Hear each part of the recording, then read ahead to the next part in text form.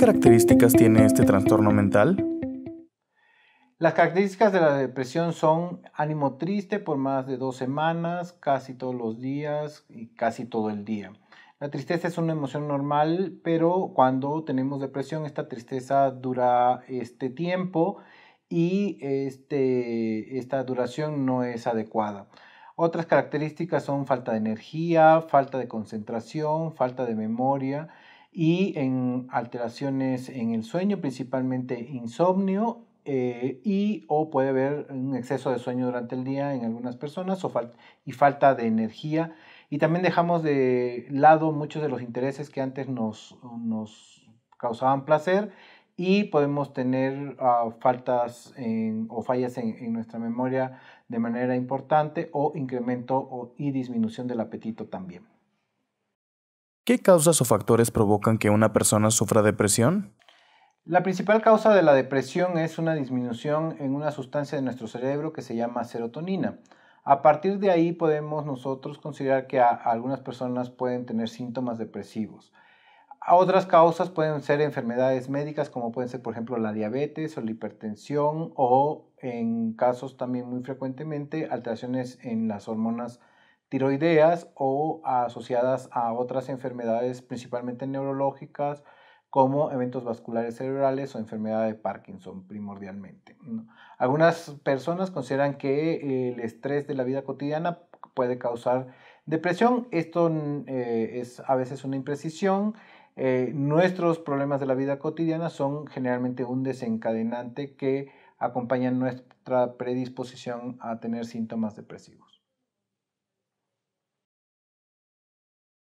¿Qué tipos de depresión existen?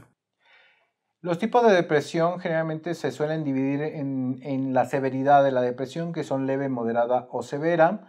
En los casos severos podemos llegar a estar totalmente postrados en cama y pueden ser primarias o secundarias. Las primarias son cuando no tenemos una causa identificada y que generalmente esta causa está relacionada con ah, sistemas de neurotransmisión a nivel del cerebro, o sea, que son las sustancias químicas de nuestro cerebro.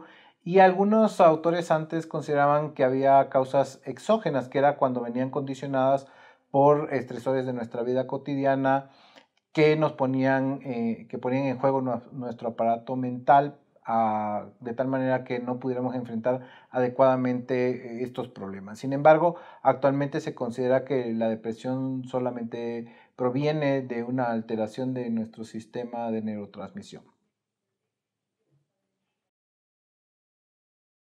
¿En qué consiste el tratamiento? El principal tratamiento para la depresión es eh, usar antidepresivos. Los antidepresivos son sustancias químicas que generalmente tienen un efecto para mejorar el estado de ánimo. Muchas personas tienen miedo al uso de los antidepresivos porque consideran que pudieran causar adicción. Esto es también impreciso ya que eh, pocos antidepresivos pudieran dar este efecto de eh, adicción como lo serían algunas drogas de abuso. Hay otro tipo de terapias que se llaman terapias eh, em, físicas, como pueden ser la terapia electroconvulsiva o la estimulación magnética transcranial, que tienen un efecto mm, antidepresivo adecuado y que generalmente eh, podemos encontrar en algunos casos una superioridad a los medicamentos tomados. Sin embargo, son eh, tratamientos muy especializados que solamente se encuentran en sitios muy, muy específicos.